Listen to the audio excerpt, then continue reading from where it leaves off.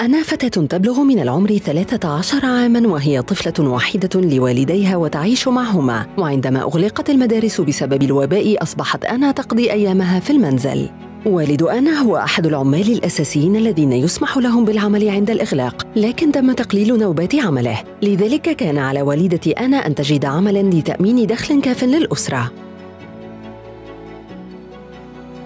وكانا يعملان في نوبة عمل مختلفة لكي يبقى أحدهما مع آنا في المنزل. فعندما يكون أحدهما في العمل يكون الآخر في المنزل ولكن من يبقى في المنزل يكون بحاجة أيضا إلى النوم. وتقضي آنا معظم وقتها في الغرفة الصغيرة التي تنام فيها عادة ولمواصلة تعليمها الدراسي. تستخدم آنا هاتفي والديها للمشاركة في الدروس عبر الإنترنت مع معلميها.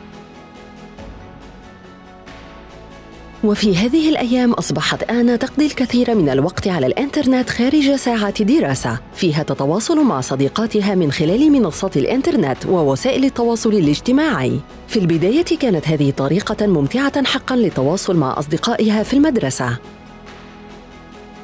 لكنها بدأت بعد ذلك في تلقي رسائل لئيمة من بعض الفتيات الأخريات في المدرسة وعندما نشرت صورها. سخروا من مظهرها فجعلها ذلك تشعر بالحزن.